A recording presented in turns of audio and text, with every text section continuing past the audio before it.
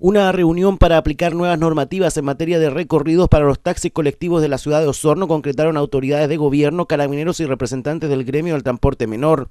El gobernador de la provincia de Osorno, Rodrigo Caguac, señaló que estas reuniones han sido constantes entre el gremio del transporte mayor y menor durante los últimos dos años para llegar finalmente a un mejoramiento del transporte público en Osorno, existiendo, dijo, una buena disposición de ambos gremios en este sentido.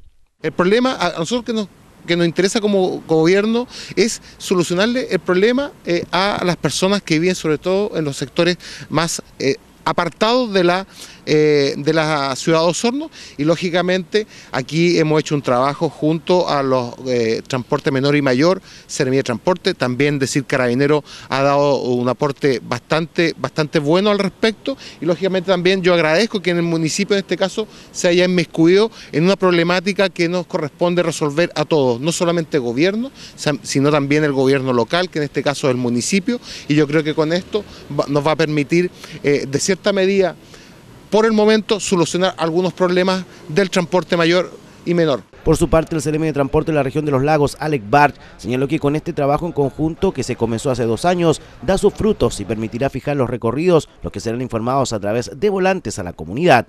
Aparte de, definir los recorridos, eh, lo, que se va, lo que se va a hacer también se van a pintar, ¿cierto? Eh, los letreros arriba, dependiendo si es, de franque o hijería, ¿cierto?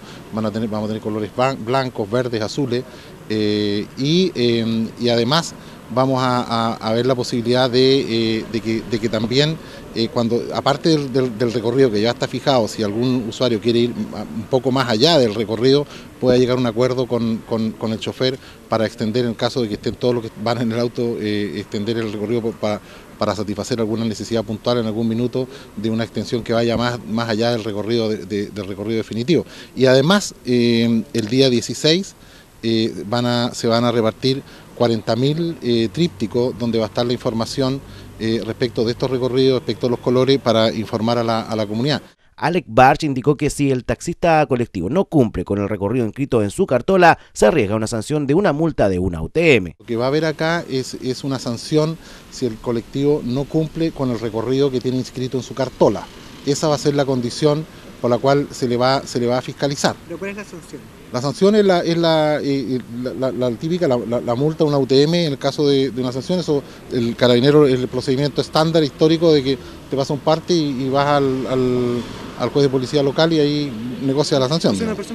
Por su parte, el prefecto de Carabineros de Osorno, coronel Gustavo Archa, señaló que el trabajo en conjunto entre los distintos entes ha dado resultado y a la vez indicó que la fiscalización se realizará en distintas fases y que nos permita en forma permanente iniciar un proceso fiscalizador, pero dividido en diferentes fases. Primero un rol educativo, que nosotros vamos a tener hacia los, transportes, hacia los representantes del transporte público y hacia los propios choferes. Posteriormente ese rol educativo vamos a hacer un levantamiento respecto al cumplimiento de determinadas normas y si esas normas después de un tiempo no se están cumpliendo, obviamente que conforme a legalidad, a constitución y a nuestra ley orgánica constitucional y a la ley de tránsito y al decreto 212, estamos obligados no facultados, estamos obligados a efectuar y cursar las denuncias correspondientes. Pero yo creo que llegar a la denunciabilidad es el último eslabón de este trabajo que estamos haciendo. Humberto Ulloa, vocero de los empresarios de taxis colectivos de Osorno, indicó que han estado preocupados ante esta problemática que se genera en esta ciudad, sobre todo por la negativa de algunos conductores de cumplir con su trazado completo, las reiteradas denuncias de malos tratos por parte de conductores a pasajeros y la falta de locomoción. Este último punto, señaló, se debe básicamente a que en la actualidad la congestión que existe en la ciudad es bastante grande, pero indicó estas situaciones se han dialogado con las autoridades y de las cuales se desprenden ya algunas soluciones es la negativa de algunos conductores a transportar a los pasajeros a los extremos trazados. Hospital base, en las calles Diego Almagro, por ejemplo, y los Notros. Lamentablemente nosotros no tenemos capacidad de ni legalidad para fiscalizar. No podemos tener un inspector en cada, en cada auto, en cada taxi colectivo. Y para eso es que contamos con, primero que nada, solicitarle encarecidamente a los conductores que no queremos escuchar más. Yo no, la llevo a usted porque llego solo hasta el terminal, que es una de las excusas que manifiestan los conductores. O no voy a, los nuestros porque es muy largo. No queremos el llamado a los conductores, por favor. Em, eso no es posible porque todas las líneas de taxi colectivo tienen en sus trazados recorridos hasta esos lugares. Todas estas normativas comenzarán a regir el próximo miércoles 17 de abril en la ciudad de Osorno como una de las medidas para mejorar el transporte público en esta ciudad, lo que será reafirmado con la entrega de un tríptico informativo.